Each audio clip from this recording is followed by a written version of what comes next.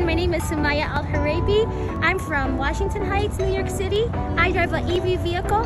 Happy Earth Month to everyone.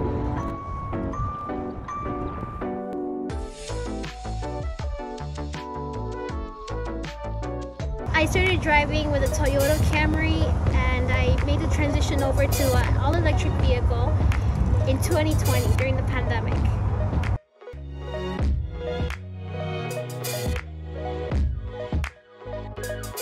The easiest thing and I'm not gonna give myself all the credit because my vehicle actually has the tool of showing me the nearest um, electric charging station. So it was very easy to know what is the next charging station.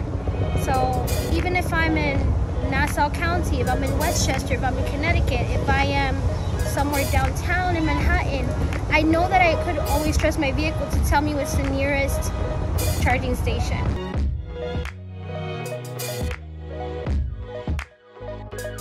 Uh, usually I get a lot of nice feedback, um, a lot of questions, but um, overall I feel very happy that my customers feel happy, that my passengers feel happy.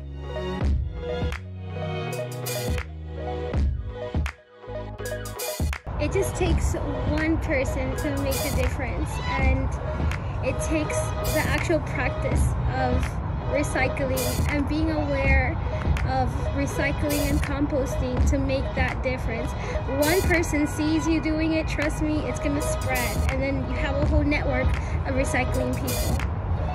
Thank you so much for joining us on Earth Month and I hope to see many more EV users in the platform and making the difference that we all need. Thank you so much.